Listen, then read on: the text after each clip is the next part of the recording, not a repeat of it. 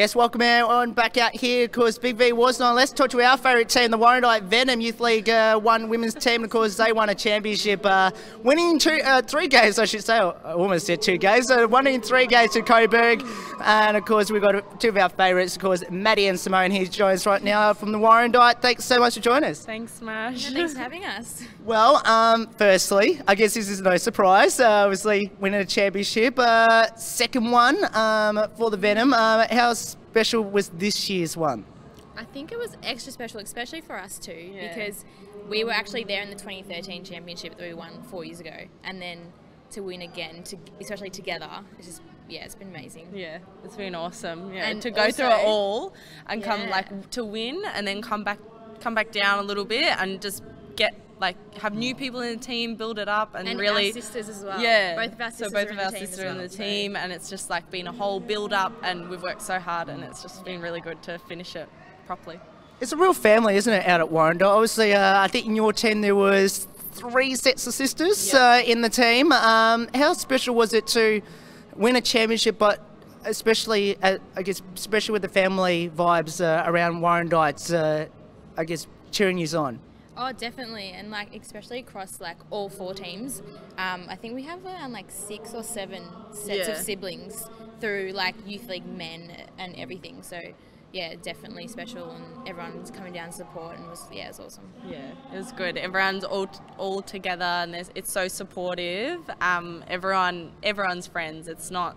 It's we have such a good environment yeah. together, and we're not only just friends at basketball. We're friends outside of basketball, and yeah. that's what really makes the team special. So yeah. Mm-hmm. Now, um, now you mentioned about your two siblings uh, that you do have. Um, now, how special was to share that moment? Oh, very special. And I think because her sister Ali hadn't played much throughout the season and smashed it in the grand final. Yeah. And I think that was very like special just seeing her like improve so much yeah. as well. Seeing her step up in like when we really needed someone was really like really great. Like it was so good. Yeah. Such a good feeling just to know that like she could get the job done and everyone was so proud of her in the team. So yeah, it was good. Now, Simone, did you actually see that performance coming uh, in game two and three from your sister? I knew she had it in her, but I didn't think in game two, especially when she came on, I was really like, wow, like you've really done uh, an amazing job. You've really like you've really helped us out. Like we, I, I no doubt we wouldn't have won that game without what she did. So yeah. Now, the other two sets of sisters I'm going to obviously speak about it. Obviously, Claudia, so Claudia, and of course Michaela. Yeah. Um, I thought those two were key in both games, two and three, yeah. at Warrandyte. Uh, how important were those two?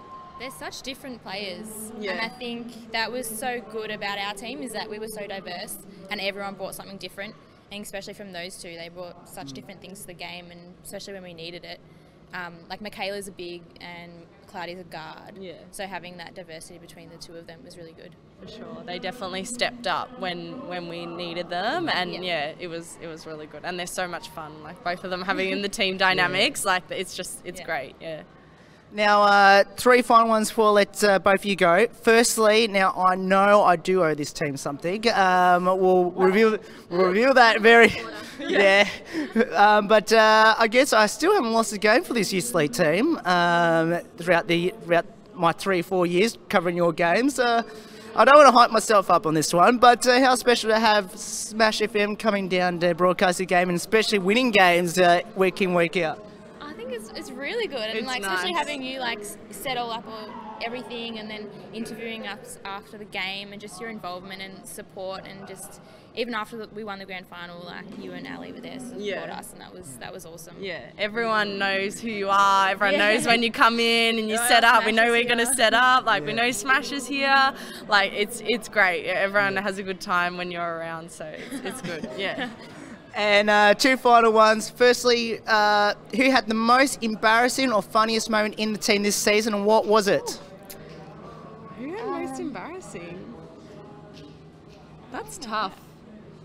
I think I can't like pick out a specific point or anything. Yeah. Um, but I think Simone and Michaela Ooh. are probably our most just like Michaela. I feel like Michaela more so. Probably more Michaela. Okay, we'll just we'll just We're just, we're just gonna out put there. Michaela out there. Um, she gets she Rowdy. gets pretty rowdy. Yeah. Um, she gets up to a few different things. So Yeah, she's definitely she surprises us all, and I think at the same time some of the stuff she does, we're just like, it's Michaela. It's just, yeah, it's just know like when you just got to put explain it down to it's Michaela. Michaela. Yeah. That's the phrase. It's Michaela. And uh, and one final one, two part question. Firstly, uh, who's the comedian, the clumsy one on the team? I think you might have mentioned one of them. Um, and and tell us a bit about your amazing coach, uh, Ange. so for the first part, a comedian in the in the team? No. I don't really know. I I feel like think- everyone everyone comes out with little funny one-liners Yeah. or they do funny little Yeah. things. So I feel like it could be anyone in the team. Yeah. Uh, for, and especially clum or clumsy maybe. maybe. I think after the grand final, probably Meg. Yeah, Meg was pretty clumsy after the grand final. Yeah, and she was um, funny. She was specifically, just- and she she got- was quite the comedian. So, Yeah, definitely. well, we could give that one to Meg. Yeah, and for as sure. for Ange, like she's done an amazing job. Like we've been coached by her for three years now. Yeah. And it's just so good to finally like not only win the championship for ourselves, Yeah. but for her as well. Like she's put so much effort, Yeah.